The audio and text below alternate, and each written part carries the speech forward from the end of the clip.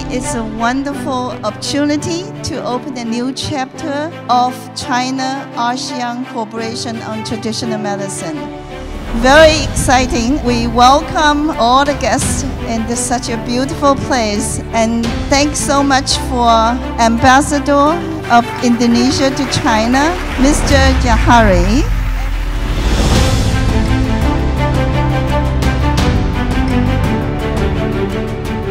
Trân 向世界，为针灸技术推广到全世界，为全人类提供健康与卫生保健事业做出了重要贡献。Atas nama pemerintah dan masyarakat Bali, saya mengucapkan terima kasih dan suatu kehormatan bagi kami karena Bali dipilih sebagai tempat penyelenggaraan Forum Internasional China ASEAN pada hari ini. It is a tremendous honor for Udayana University to co-organize this prestigious event in collaboration with the first teaching hospital of Tianjin University of Traditional Chinese Medicine. 东盟国家传统医药各具特色，前景广阔。东盟各国拥有丰富的草药资源和独特的传统医学的体系。Focus on traditional medicine that have a potential to make significant contribution to global health.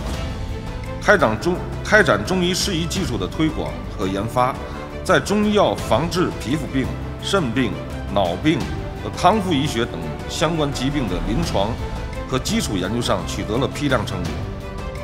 驻印度尼西亚，中医药也随之而来。又是十六世纪，印尼成为荷兰。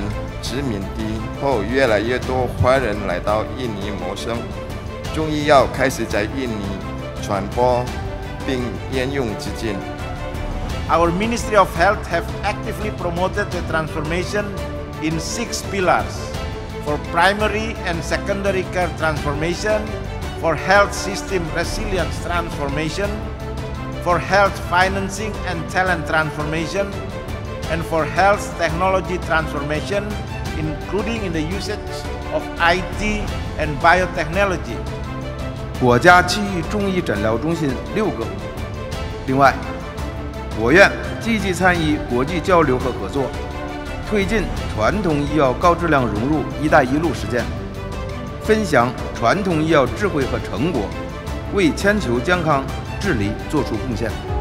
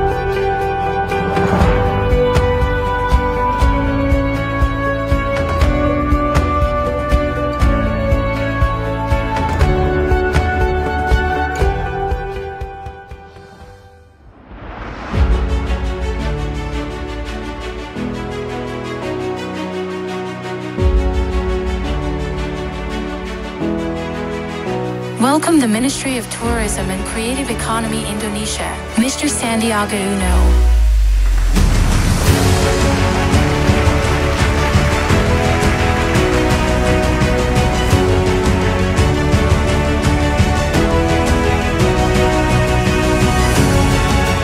First of all, I would like to appreciate and send our gratitude on behalf of the government of Indonesia and the people of Indonesia for this first China ASEAN International Forum on Traditional Medicines to be held in Bali.